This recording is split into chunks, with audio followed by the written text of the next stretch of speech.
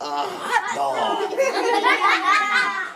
Ravens cornerback Brandon Carr is usually busy successfully guarding the wide receiver. Today, he's on the academic field, reading to third graders at Glenmount Elementary Middle and teaming up with the school to bring his Carr Cares Foundation to children here. Carr Cares is just um, my upbringing. Uh, my parents, my mom was a teacher uh, for 33 years. My dad was my coach, so I'm just combining both worlds of mentoring um, and the education world and just, just making a, a whole student. You know. His foundation inspires students to become proficient readers and reach their full potential, while the Maryland Book Bank Ravens Bookmobile provides books to children in Title I city schools.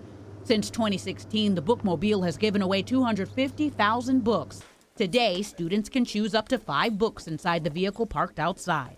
And this bookmobile is so very important because, according to the Maryland Book Bank, children in low income homes have zero to one book at home, as opposed to 53 books per home for children in middle income homes. Through this uh, program, through Brandon, through the Maryland Book Bank, and Mr. Mosley and I have been able to add over, in total, 4,000 books to our students' home libraries. Of course, they're excited. They have the opportunity to meet an NFL player, but it's a deeper meeting. You know, he's giving back to the community. Carr signed and presented a souvenir helmet to the school. For students, uh, Oh, wow. from Thank me to you, you. 2018 Thank you. A kind gift and reminder that the reading partnership is a win win for all. In Baltimore, Theo Hayes, WBAL TV 11 News.